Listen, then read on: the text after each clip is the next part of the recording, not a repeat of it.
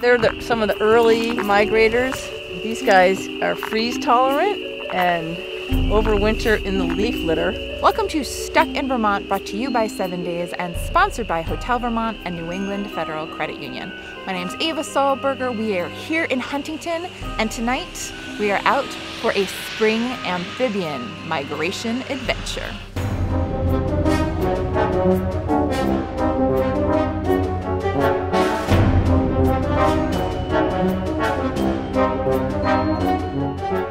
What's really great about amphibians this time of year is that it's one of these forms of wildlife that you can really go and experience firsthand, and it's just magical. So this guy was crossing the road. Oh, wow. Trying to get to the pond.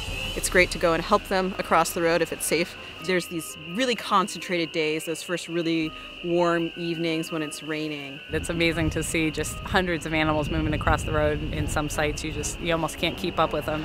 Every year, amphibians and reptiles come down from the hills into the marshes, the wetlands, and the ponds to breed. It is amphibian crossing season and it's very evident here at my house. So we like to fall asleep to the peepers. And that's who we're listening to right now. That's who we're listening to. So there's hundreds of these little guys. So tonight we're looking purely for those amphibians that are out looking for their mates tonight, trying to continue their species on to the next generation. And it's just really fascinating to see these kind of like invisible migrations that most people don't notice of these really vibrant animals that have such a complex life cycle. So we have students, some eco educators, herp enthusiasts. what is a herp enthusiast? Someone who is excited about amphibians, also reptiles. We're going herping. I like Right, that. we're going herping. Okay, all right. As amphibians, they need to keep their eggs in the water, lay their eggs in the water. So this is a frog egg mass.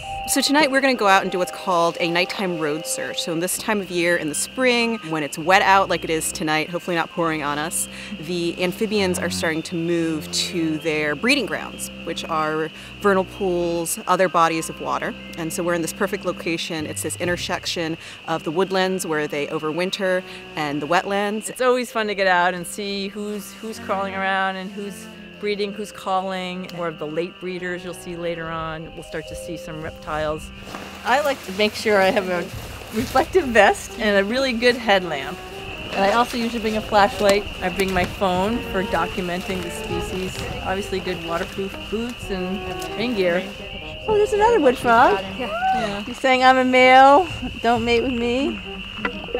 And uh, so that's kind of a release call. They're both males. Coming out here and hearing the amphibians and seeing them up close, and it gives you a much bigger appreciation for them. I really like discovering new things. So, like finding creatures where I don't expect to find them, and often in like bigger numbers than I would ever think there could be. You see other flashlights slowly moving towards you. I ran into Nina actually near the famous Monkton Wildlife Crossing. Yeah, and I've actually met more of my neighbors being out quite a bit. We just got home and we saw all these like crazy lights. we were like, almost like they're walking salamanders.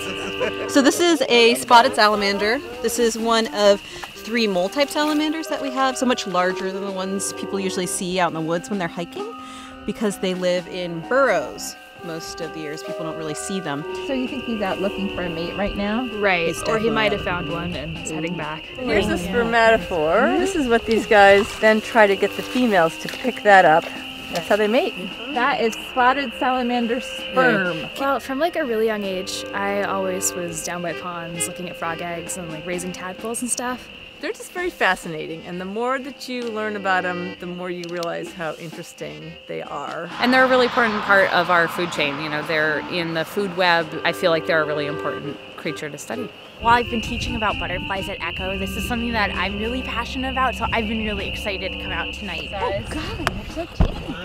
This is an eastern newt, and this is an adult. They spend their adult life in the water. They lay their eggs in the water. Their little salamander larvae grow up in the water, and then they hatch out and they turn into what's called the red eft, which most of you have probably seen walking around on land. They're the bright orange salamanders, and they walk around on land for anywhere from three to seven years, and then they return to the water and they change back into this dark green adult.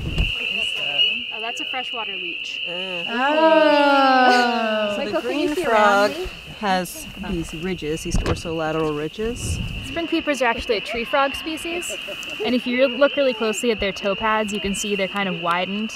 They're good climbers. That's the aggression call for the males, so it sounds kind of like a metallic comb. Hey, darling, go find your one true love.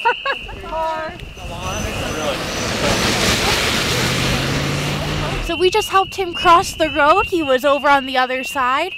Uh, so he was heading this way. So we're going to put him down on the other side so no one runs over him.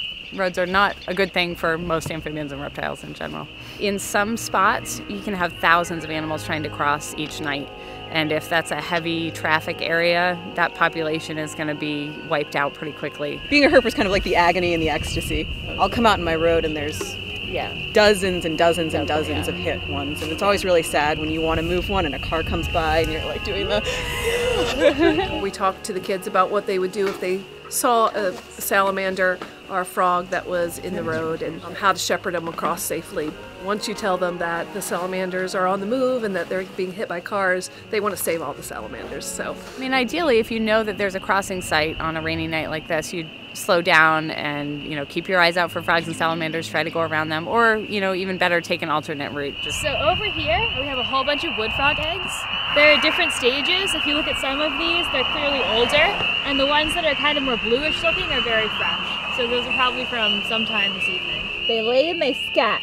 They lay Yep. and they go. You lay a lot of eggs and you hope some make it to adulthood, but you expect a lot won't. So amphibians are an indicator species that can tell you a lot about what's happening in the environment. So tonight we can hear all of these beautiful peepers and wood frogs.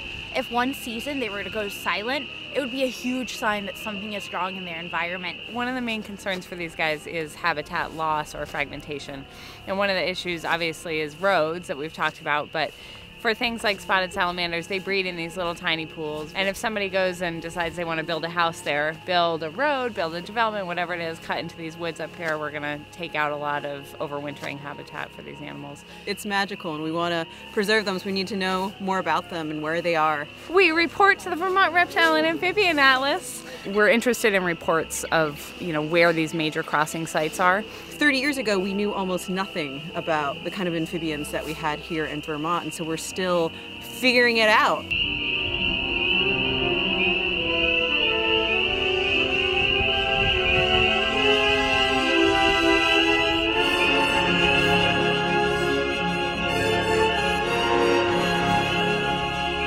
So this here is a spotted salamander, and you should be on the lookout for little creepy crawlies like this while you're stuck in Vermont. And we will get stuck in Vermont with you in this here salamander again real soon. Follow us on Facebook, YouTube, Instagram, Twitter, and sign up for our weekly email alerts.